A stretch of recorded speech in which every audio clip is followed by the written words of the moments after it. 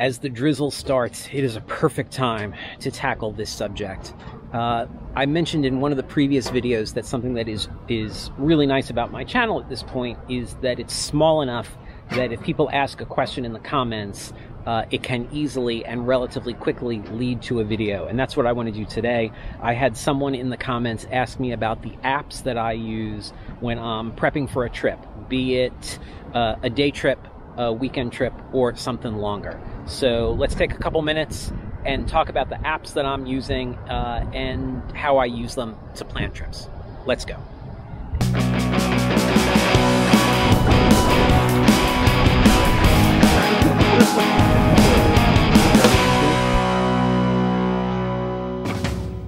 Okay, so as I pull up my phone and start looking at apps, I have um, apps broken out into two different folders. One folder is weather, the other folder is just called outdoors. We're going to spend the most time talking about weather um, because that, when I'm planning a trip, is where I spend most of my time The app that I use more than anything on almost a daily basis is called Dark Sky. Um, this was a little tiny independent company that created an app. It's what's called a micro weather app. It is very localized weather data and will tell you things like uh, rain starting in five minutes, stopping 15 minutes later. And it's either super accurate, super usable, or so wrong you know not to believe it. I will say Apple bought this company a few years ago and the app has not been as good since they bought it. That might just be some form of bias, but that's what it seems like. It seems like it used to be a better app. Um, primarily, I am using the hourly breakdown and the, you know, coming hour, this is what's, what you're going to see in the next hour. Oh, it's great to see that like, oh, at two o'clock, I want to be getting on the water and the, and it, it's going to have stopped raining by then. That's primarily how I use it. I did once use it teaching a class outdoors, but we were under a shelter uh, and I used it to be like, okay, we're going to go outside because it's going to stop raining for 15 minutes and we're going to do this exercise and then we're going to go back under the shelter. And it worked beautifully. It was one of those days where it was spot on, worked really well. Okay. That's for day trips. That's generally what I'm looking at for day trips. For multi-day trips, I generally don't trust real weather reports more than 48 hours out. So like the next 48 hours is generally pretty believable, but beyond that, there's too many variables in weather prediction. I don't buy it. But what I will use is an app called My Radar. Um, and the nice thing about this for me on the east coast of the United States, most of my weather is coming from the south and the west, primarily the west, but sometimes from the south. And to be able to be like, oh, yeah, right now in western North Carolina, it's pouring rain. That's probably going to hit me at some point in the next two, three, four days. That's really good to, to know. So I use uh, my radar pretty frequently, and that works really well for me. The other app that I use is um, just the straight up weather app. If I want to see a multi-day trend, that works really well. Um, just the straight up regular weather app that comes on your iPhone. I don't know what if it's there's something similar for Android, but this is all iPhone based. Oh, I should say Dark Sky used to be multi-platform. And, but when Apple bought it, they made it Apple only, which kind of sucks. Shame on you, Apple. I have a heat index app because when I worked for REI Outdoor School, we used heat index as the guideline. Above this heat index, you have to do this. Above this heat index, you have to cancel class. I don't use that that much, which is why on my iPhone, it needs to be re-downloaded. Okay. The other app that I use a lot is debatable as to whether or not it's a weather app, but it's in my weather folder is Multitide.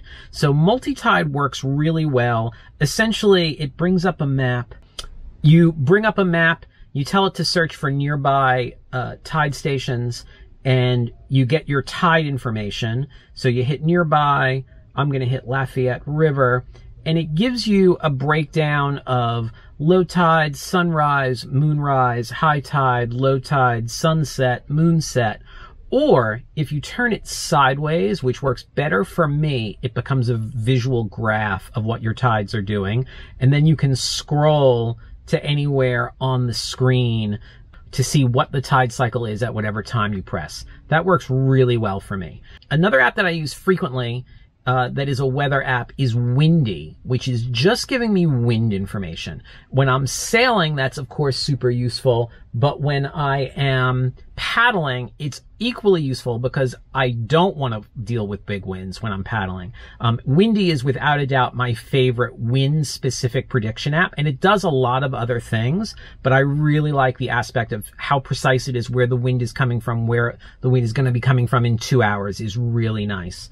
Um, so works really well. Love that app. Windy is an awesome app. Those are the apps that I use most often. Now, if I'm doing like a 10 day trip, I probably won't have cell service. So I'm going to download from the NOAA's website um, tide charts based on my location, and I may grab it from tide stations uh, a couple different places so I get a picture of what the tides are doing all over the coast that I'm paddling. Um, those are the apps that I use most often. In my outdoors folder, I have Garmin and a Starlight app to help you see what constellations you've got. The next tool that I use in terms of weather is my watch. My watch has a barometer on it, um, and that's really why I bought it. It's an ABC watch, altimeter, barometer, compass. And the thing about barometers that is useful for me as a paddler is it is showing very localized weather information. Um, and so if I'm about to start a crossing or if I'm just getting on the water um, and I look at my barometer and it's showing a decrease in barometric pressure and it has for a while, that is generally an indicator that bad weather is coming. So I may not want to do those two things. Um, Likewise, I could also see an increasing pressure trend, which means good weather is coming. And so it's just a very easy way without needing cell service or anything like that to get an idea as to what the very localized weather is doing. Um, so I am a big fan of checking a barometer throughout the course of the day and seeing what that's doing. Big, big fan of a barometer on my wrist. One more thing I want to add here is something that I don't have but that I would consider getting, and it's this. If you have a Garmin InReach in its various forms, the InReach, the InReach Mini, the 66i, which is a handheld GPS with InReach functionality. If you have that, you can pay for a weather service where it will send you weather updates via satellite. And I think that is a really cool thing.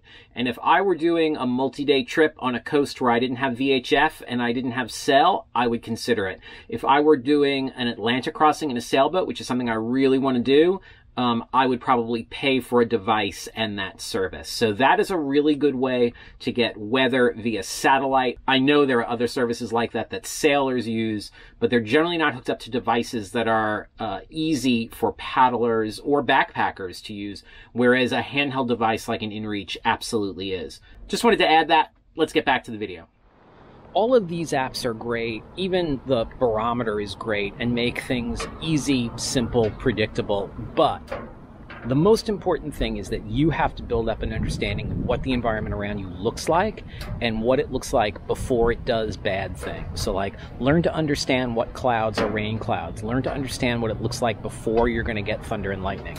Um, that way, even without these tools, while you're paddling or doing anything in the outdoors, you have a good idea as to what to expect for the coming time.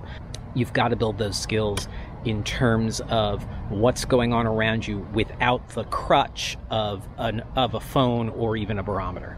Okay, that's all I've got for today. Play with these things in the outdoors, pay attention to your environment, learn what clouds should look like and should not look like, and I'll see you on the water.